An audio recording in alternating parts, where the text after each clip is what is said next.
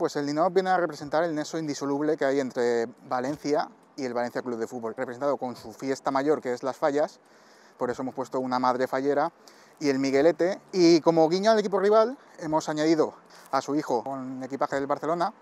y la Sagrada Familia de fondo. Pues esta iniciativa del Valencia Club de Fútbol y del Ayuntamiento de Valencia, la verdad que, que es un, un globo de aire para nuestra profesión y la verdad que, que se agradece poder hacer algo y que esté en el Museo del Valencia. Es para mí, también como valencianista de,